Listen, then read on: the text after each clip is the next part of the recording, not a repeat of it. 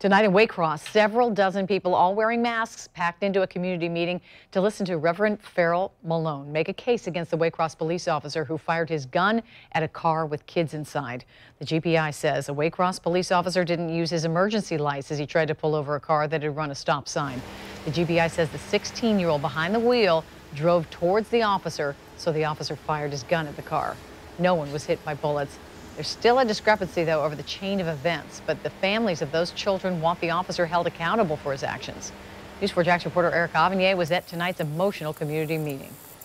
Reverend Farrell Malone organized this community meeting to discuss a plan to seek justice in this case, and once the meeting started, the Reverend did not hold back.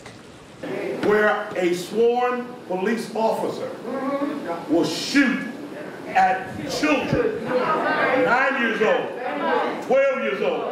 13 years old, 15 years old, and 16 years old.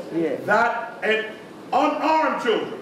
These children did not have a gun. No. They never accessed a gun. There was a gun in the car, but they didn't even know the gun was in the car. It was in the glove compartment.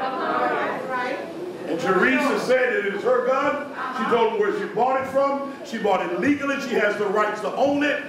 And he said, well, they tried to come at the officer. The 16 year old tried to come at the officer. I said, show me the body cam. Show me the dash cam. What we want, number one, is for justice to be immediately served, and that is that he is terminated and stripped of all credentialing as a peace officer. We want a, a state attorney general to issue this case to a district attorney in another district. This upcoming Saturday at around 9 a.m., folks will return to this church to sign a petition and possibly march through the community in protest. Reporting in Waycross, Erik Avanier, Channel 4, the local station.